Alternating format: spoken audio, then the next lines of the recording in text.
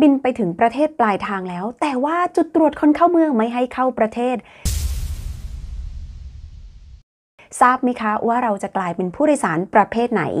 สวัสดีค่ะ พี่มิจากช่องคาปูชิโน่นะคะ หนึ่งในข้อกังวลใจของใครหลาย ๆ คนนั่นก็คือว่าเวลาที่เราเดินทางไปต่างประเทศแล้ว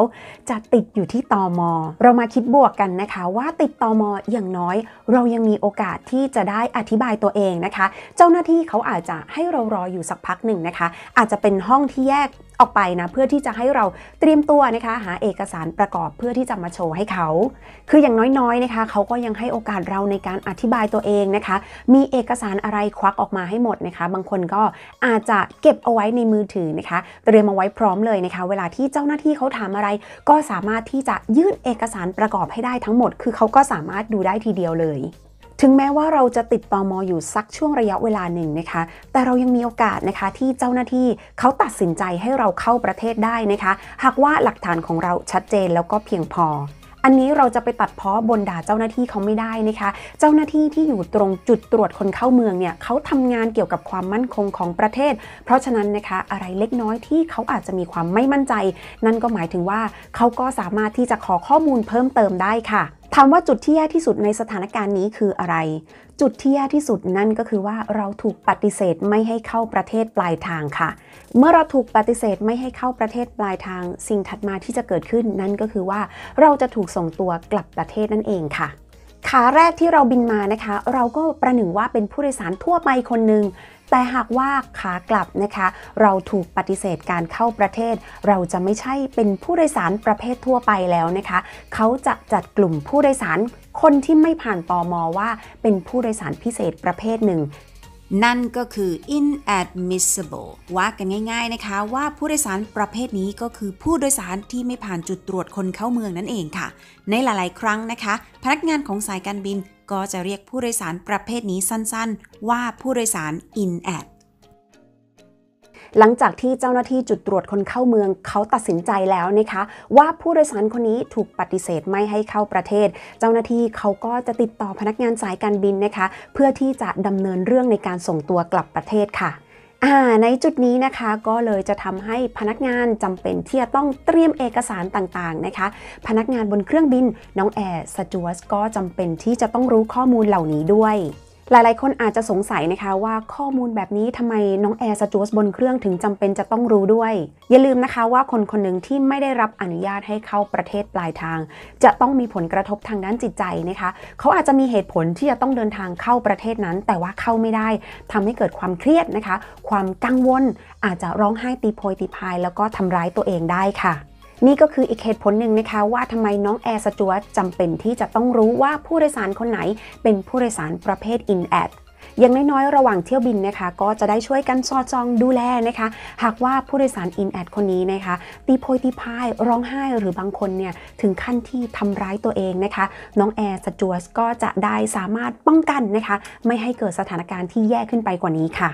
เราอาจจะคาดไม่ถึงนะคะว่าคนคนหนึงจะสามารถทำร้ายตัวเองได้ด้วยเหตุผลที่ว่าไม่ผ่านจุดตรวจคนเข้าเมืองนะคะ เราไม่รู้เลยนะคะว่าเหตุผลที่เขาอยากจะเข้าประเทศนั้นเนี่ยคืออะไร แต่การที่ถูกปฏิเสธชับ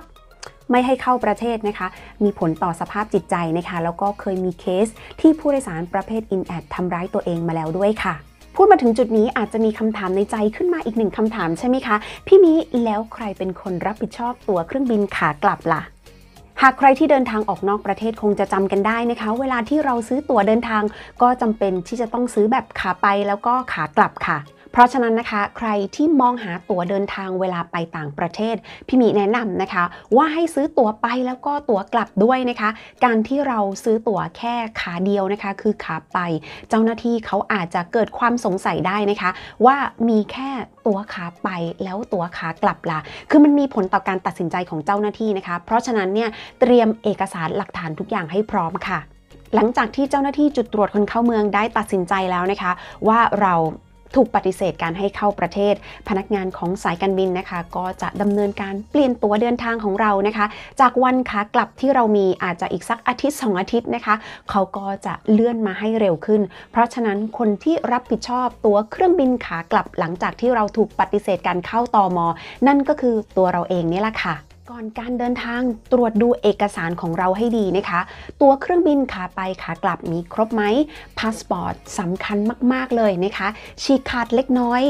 ก็คือไม่ได้นะคะ หรือว่าฉีกขาดทั้งหน้ายิ่งไม่ได้ใหญ่เลยนะคะ บางคนบอกว่ามีลูกนะคะ เอาลูกเอาสติกเกอร์มาแปะเล่นเจ้าหน้าที่เขาปฏิเสธการเข้าประเทศของเรานะคะ บางคนพาสปอร์ตต่ำกว่า 6 เดือนแบบนี้ หลาย ๆ ประเทศทั่วโลกนะคะ เขามีกฎระเบียบชัดเจนเลยว่าพาสปอร์ตที่จะเดินทางเข้าประเทศเขาจะต้องมีอายุมากกว่า 6 เดือนขึ้นไป ใครที่เหลือต่ำกว่า 6 เดือน